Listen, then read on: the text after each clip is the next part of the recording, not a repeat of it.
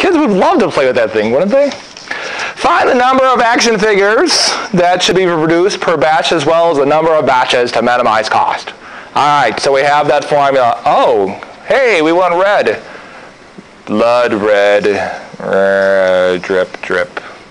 Q equals, what is it? So we need to figure out three things. Uh, first off, F is the fixed cost. What's the fixed cost? $300 times M. M is the number of figures uh, that we need to produce per year. 5,000 over K.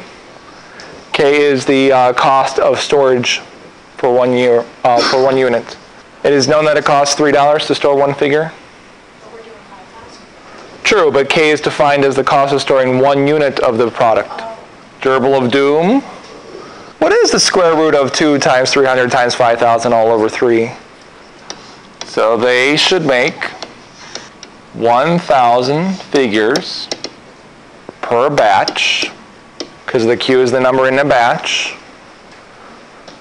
And then it says how many batches they need to make. Well, how many total figures do we need? And we have a 1,000 per batch, so how many batches do we need? Five.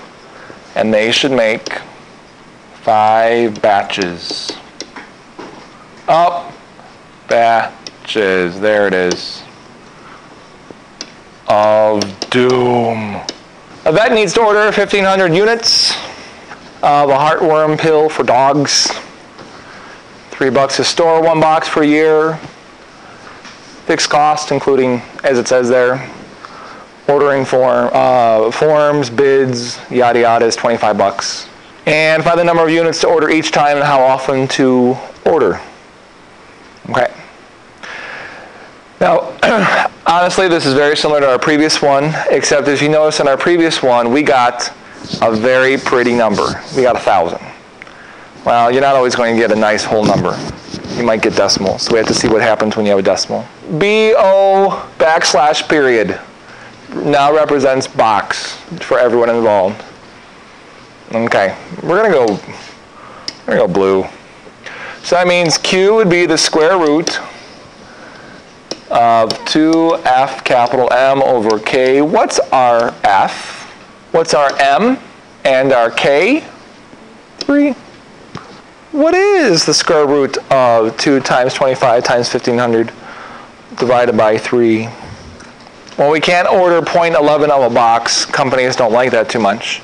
So we have two options. Either we order 158 or we order 159. So all of those two we have to figure out gives us the least total cost. So what happens is now this comes into play, this function here. We have to figure out the total cost. Plug in 158, plug in 159, and see which one is the least. Okay? So total cost. So it's Fm over Q. What's our F? 25 Rm. And Q is just Q for right now. Plus K. Is that, that's 3. Uh, Q is just Q over 2. If you want to clean up 1500 times 25, feel free to do so. You don't have to. But we need to do two things. We need to try 158 and 159. So in the previous one, we got a whole number, which was great. We did not have to go back to the cost function.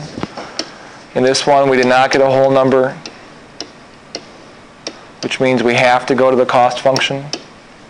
Now this example is on the real small scale, so the difference in cost isn't that drastic. But what do you get for 158? then there's no need for me to tell you that I uh, got 342.68. Yeah, so we'll just go with yours. Equals, and what'd you get for 159? 0.35? Yeah. So yeah, this is 341 technically. And this is 349. So I guess we're going with 158. Woo! We just saved 80% of a penny. Yeah, buddy. So find the number of boxes to order each time they should order. 158 boxes each time. And how do we figure out how many times they should order a year? Very good. So if we did 1500 divided by 158, this is not a pretty number. It's okay. You get like 9.4, I think, something close to that. 9.49. So nine. We'll just say 9.5. So they should make an order nine and a half times a year, which sounds weird. You can convert that to weeks, which would probably be a little more um, practical. So if you divided 52, because that's the number of weeks, by 9.5, you get about five. So they should make an order every five weeks.